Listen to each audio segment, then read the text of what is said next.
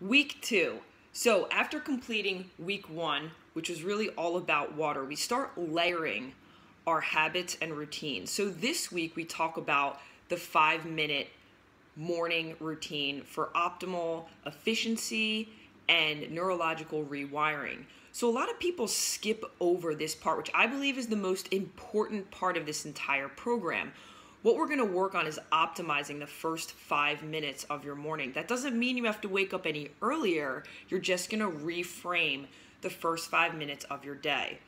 So, what that involves is some really easy things. Just using a journal to help map out what you already have in your head for your goal and projecting that out. In your packet, there is the Amoline journal example. And all that is, you do not have to, you could print out these papers you want. You can use a journal that you're already using. It's an easy system I learned, and I use the acro- acronyms GO, DID, DO, app. So go really means gratitude. Everyone has gratitude journals and gratitude. You're just going to write down one thing that you're grateful for that morning. Anything. So, you know, after you get up, you brush your teeth, you clean your face, you go to the bathroom, you know you start getting your graminos together and you're going to sit down for five minutes and just just do you. Everyone in the morning gets up and and the first thing that they do is they start taking care of others. Some of you have children dogs you know a significant other. They get up and they're always worried about someone else. Well this is your time. This is probably the only five minutes of your day that you get to self-reflect. You know a lot of times when people get stressed out or they break or they slip in a program is because they don't have good mental programming to help them with their behaviors and and habits. Again diets don't fail people behaviors and habits do. So this is really cementing an easy way and it takes control of a lot of the stress in your life. So one thing for gratitude so you're already in a, in a positive mental framework. Next is your uh, did list. What did you do yesterday? We'll go over that in a minute so it's three things that you completed. You know, what did you complete yesterday? And this actually helps follow along your health and fitness and career journal journey.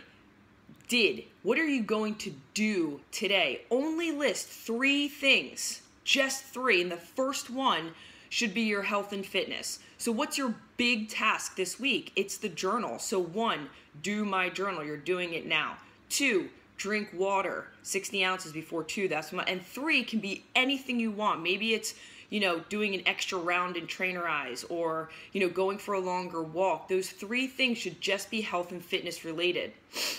And the last but not least we have our app mean appreciate. You're going to appreciate actively appreciate someone that day. It can be right then and there just sending a quick text to someone. What this helps uh, do is it, it helps you keep in track of the people of your life. So a lot of time people can come in and out of our lives or we don't just get in a mode of appreciating others. And believe me, with stress, this can come back full force when you're feeling like shit one day and then you text someone a couple weeks ago and they're like, hey man, you want to get together for lunch? You're like, oh wow, they thought about me. So we're putting everything out there first. And then last but not least is the brain dump. This is usually what actually most people skip over everything and go right to the brain dump. The brain dump is all your anxiety for the day, all the worry, I have to do this, that you're just freestyle writing. If you only want to write a sentence, just write a sentence. But it's really important that you go through this and it takes literally 60 seconds. I'm grateful for A. Uh, I did a workout yesterday. I felt great. I'm going to do today. So you're front loading your brain with what you're doing. A lot of people, again, they don't front load their brain, they don't put it down, they don't make it really, really, really important. This is your life we're talking about. It's the most important thing ever. So take the five minutes for you. Okay, that's why it's the five minute morning routine. Is it's really handling and mitigating the stress. And you're like, okay, I'm not worried about that. So what happens is things will just run around in your brain. Oh, I have to do this, I have to do this, and you're not putting it anywhere. And then your brain loop is just doing this. So I talk a lot about rewiring the brain. You're taking all those anxieties and dumping it on a paper. At least it's there for now. Okay? So that's it for this week. If you check out the bottom of the email, I put in some decompression routines, and what that's really doing is is handling the last five minutes of your day. So just some different stuff that you can try. You don't have to do all of them. If you need other ideas, please email me. So it's really going over just some um, baths, breathing routines, meditation, some herbal supplements you can use to help slow yourself down and mitigate stress. Remember, when most people gain weight, it's stress.